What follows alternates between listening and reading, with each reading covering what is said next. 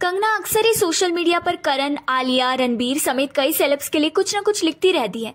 इस बार कंगना ने आलिया, रणबीर के लिए पोस्ट लिखी है, जिसमें उन्होंने खुलासा किया है कि दोनों की शादी फेक है। कंगना ने लंबी चौड़ी पोस्ट में बताया कि पिछले दिनों नीतू कपूर के बर्थडे में आलिया और उनकी बेटी राहा शामिल नहीं हुई। रणबीर ने कंगना को मैसेज किया और मिलने की डिमांड रखी, पर एक्ट्रेस नहीं मिली। हालाँकि इसमें कितना सच है, कितना झूठ, ये तो पता नहीं। लेकिन नीतू कपूर ने कंगना को अपने अंदाज में जवाब दिया है। नीतू ने पोस्ट शेयर करके लिखा है, हमारा परिवार अब पहले जैसा क्यों नहीं है? इसके पीछे वजह है। वो ये है कि हम उन लोगों की बरी कर चुके हैं जो परिवार को साथ रखने का ढोंग किया करते थे।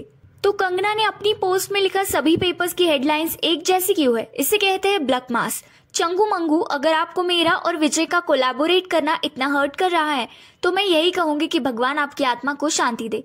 एक और खबर है मेरे पास। तो वही कंगना ने अपनी पोस्ट में लिखा कि ये फर्जी पति पत्नी जो अलग अलग फ्लोर्स पे रहते हैं, वो फ़िल्म के लिए कोलैबोरेशन की खबर को फैला रहे हैं, जो झूठी है।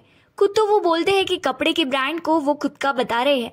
लेकिन कभी किसी ने ये क्यों नहीं लिखा कि एक्ट्रेस और उनकी बेटी क्यों हाल ही में एक ट्रिप पर नहीं गए? उसका पति मुझे लगातार मैसेज कर रहा है मिलने के लिए। इस फर्जी जोड़ी को हम सभी को मिलकर एक्सपोज करना चाहिए। ऐसा तभी होता है जब हम शादी किसी मूवी प्रमोशन पैसे और काम के लिए करते हैं। प्यार में रहकर नहीं। इस एक्टर ने माफिया डैडी के प्रेशर में आकर शादी की। इन्होंने कहा कि वो उन्हें तीन फ़िल्मों में कास्ट करे। अगर वो पापा की परी से शादी करते हैं तो।